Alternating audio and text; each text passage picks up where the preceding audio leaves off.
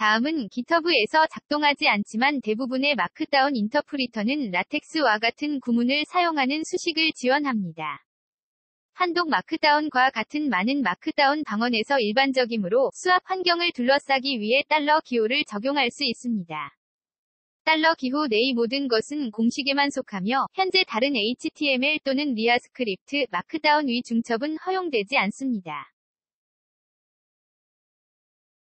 단일 달러 기호를 사용하여 일반 텍스트 요소로 처리되는 인라인 수식을 정의합니다.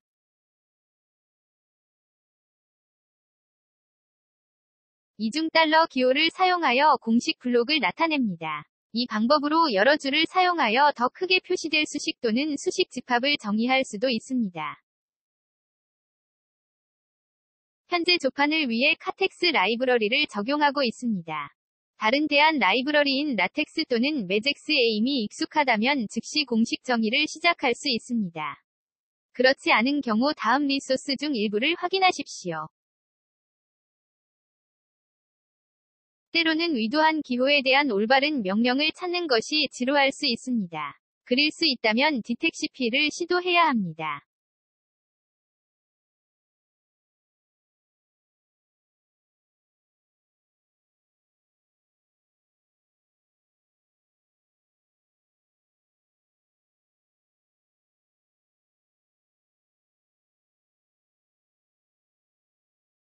정렬은 수식의 일반적인 사용 사례입니다. 아래 코드는 수식 중심의 앵커로 사용되는 ampersand를 사용하여 이를 달성할 수 있는 방법을 보여줍니다.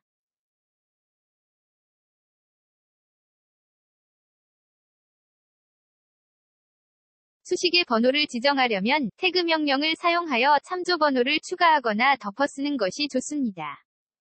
자동 번호 매기기는 공식이 웹구성 요소 내에서 rendering되기 때문에 현재 제대로 작동하지 않으며 이 시리즈의 뒷부분에서 설명할 LiaScript의 애니메이션 아이디어와 충돌합니다.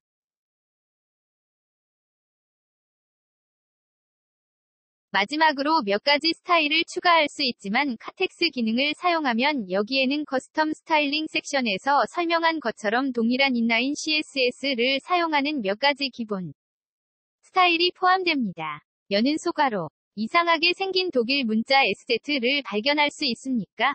그리고 를 사용하여 요소를 링크로 표시, href하고 명령으로 이미지를 추가할 수 있습니다. include 그래픽스